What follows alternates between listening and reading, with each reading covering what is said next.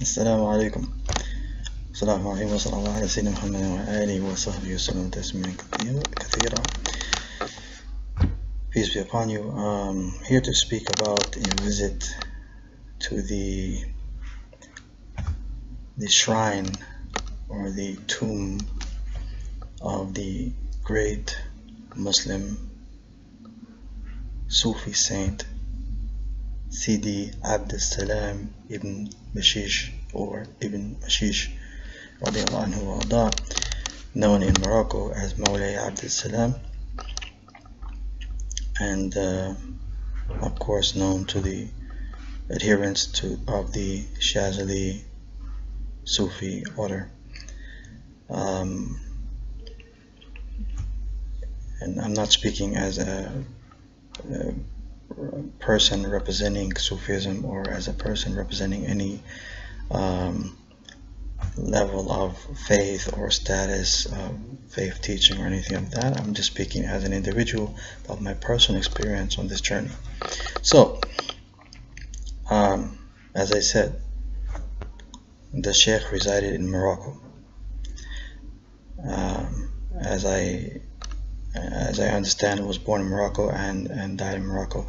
And there are videos available and there are books available that go into the history of the Sheikh. I'm not going to actually deal with that. Um, but the point is, in order to access this location, you have to go to the northern part of Morocco, which is called Tetouan. And this is a very uh, popular area because it's near Spain and other touristy areas like Martil and M'diq, and and these popular Castillos is called popular uh, tourist locations with um, good uh, number of uh, visitors annually. So um, when you get to Tetouan, you have to then go up a huge mountain into the area called uh, Beni Arus or until you reach the area called Mawlay Abd Salam. And depending on the road taken over the years it could take anywhere from four hours to two hours to it, it all depends on whether you're going by a private car a taxi a bus etc but what is extremely amazing is the view. I mean it's uh, subhanallah it's such a, a lovely view of the, the nature and such a huge contrast from the city that you just left below, meaning Tetouan. Uh, it's like entering another world. And uh, that must have some sort of effect upon you psychologically. Uh, and then when you reach the, uh, the uh, tomb, what will amaze you is that you could not find this place um, empty not even because of um, coronavirus or something like that no.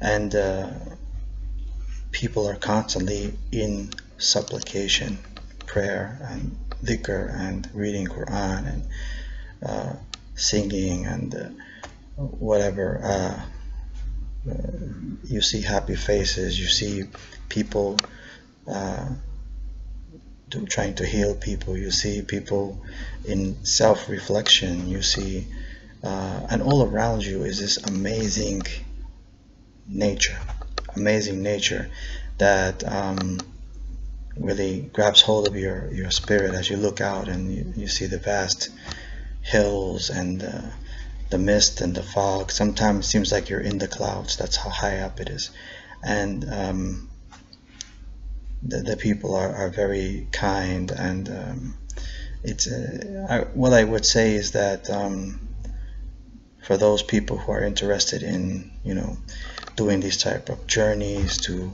interesting places around the world and in particular places that have spiritual uh, importance sacred spaces um, and places that have been influential this is definitely uh, a place you'd want to visit the, the shrine of the great Sufi saint Sidi Abdul Salam ibn Mashish or Ibn Mashish known as Mawlay Abdul Salam in the northern uh, Rif uh, area of Morocco and uh, may you all get a, a, a blessing that uh, facilitates you to visit this wonderful place. Wassalamu alaikum wa rahmatullahi wa barakatuh.